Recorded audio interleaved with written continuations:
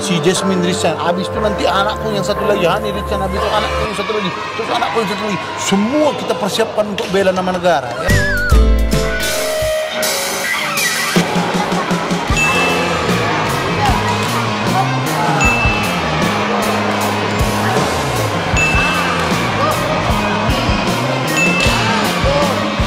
Papa very happy because Jasmine very very good.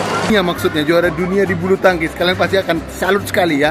Aku ketemu sama Bapak Chandra Wijaya. Ah. punya semangat yang besar dan punya hati yang besar untuk bisa termasuk maksud saya sebagai anak anak bangsa yang memberi kontribusi kepada bangsa dan negara melalui bulu tangkis.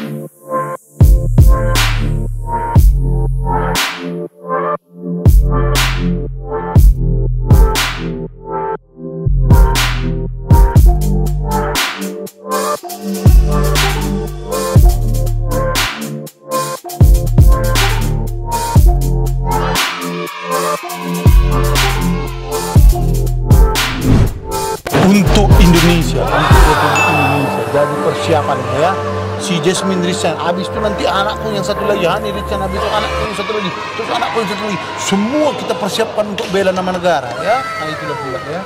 Kalian lihat nanti ya, jangan lupa ya kasih waktu. Karena ada proses, ini baru belajar. Nantilah setahun dua tahun lagi udah juara dunia ya. Amin, amin. Mau minta tolong diaminkan dulu semuanya ya, supaya banyak yang mengaminkan. Nah, langsung didengarkan ini sama yang di atas langsung dijadikan langsung juara dunia ya. Ini pelatih sampingnya. Ini pelatih pelatih cabutan ini ya. Ini pelatih cabutan. Dia kadang-kadang ngelatih bola bekel, bola basket, ah, bola poli, karambol. Oh, karambol juga kadang-kadang, kadang-kadang bola pingpong juga dilatihnya ya. Nah, itu jangan sepele. Juara dunia juga dia ya. Ah. A- aku, aku yang latih, dunia lain.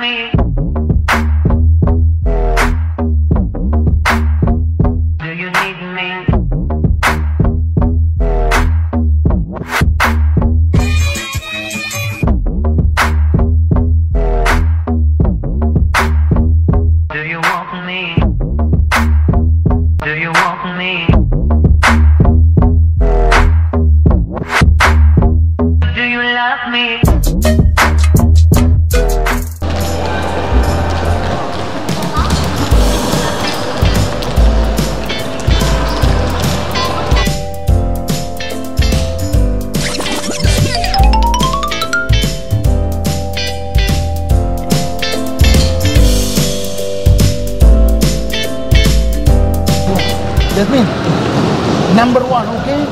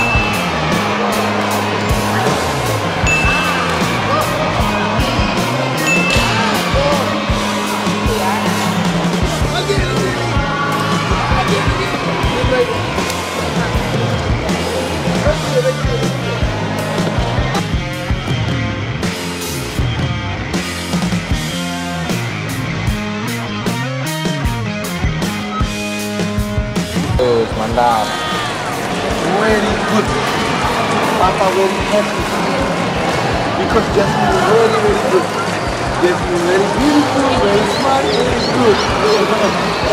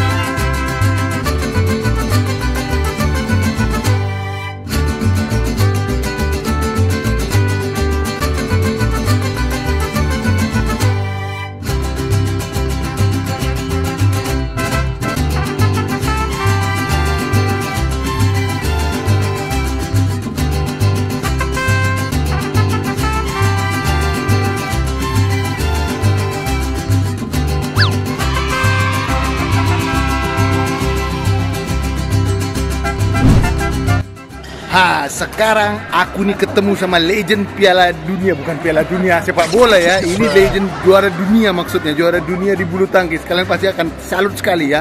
Aku ketemu sama Bapak Chandra Wijaya. Ah. Oh ya. Iya. Dan aku mau nanya ada satu hal penting sekali bagaimana melatih anak-anak kita supaya jadi bagus ya. Supaya jadi bagus. Ini ada trik khusus, trik khusus untuk membuat anak kalian jadi luar biasa ya. Ini kita lihat dari Pak Chandra Wijaya. Gimana Pak? Triknya Ya, Pak?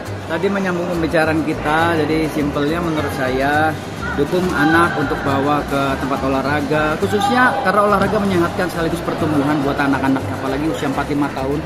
Ya, mereka bisa senang olahraga itu bagus sekali. Dan ini adalah menimbulkan apa ya katakanlah olahraga kita tahu dari sportivitas, terus dari nanti integritas, terus juga yang lebih baik lagi tadi selain kesehatan ya, terus nanti mentalitas dan ya memaksimalkan pertumbuhannya. Selain itu membuat apa mengcreate mental dan karakternya itu yang simpelnya seperti itu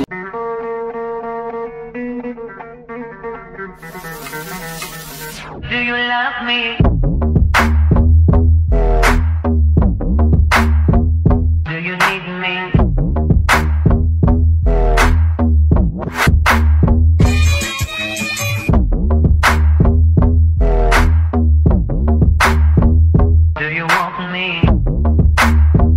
Do you want me? Do you love me? Jadi kalau kalian, kalau kalian semua ya mau melatih anak kalian supaya iya. jadi bagus di badminton ya, ya? ya, ya? ataupun mau memba- mem- membentuk mental anak-anak kalian bisa langsung datang ya ke tempatnya ke mana ke Wijaya ya ke Wijaya itu itu is everything untuk tempat badminton pelatihan anak-anak menjadi Ya. luar biasa ya saya sedikit share aja yang Ya. ada yang mungkin ada yang bisa saya bagikan dengan sangat luar biasa artinya kita punya tujuan punya visi misi yang besar punya semangat yang besar dan punya hati yang besar untuk bisa termasuk maksud saya sebagai anak anak bangsa yang memberi kontribusi kepada bangsa dan negara melalui bulu tangkis gitu. ya kita tahu bulu tangkis selama ini Bapak selalu memberikan kontribusi positif dalam untuk Indonesia. Bisa membuat bangga apa Pasti bangga bangsa ya, kita bang ya. ya cara kita, cara saya yang bisa kita lakukan sampai sekarang ini. Ini yang luar biasa. Ah, makasih ya, ya makasih, okay. makasih, makasih pak ya. Ah.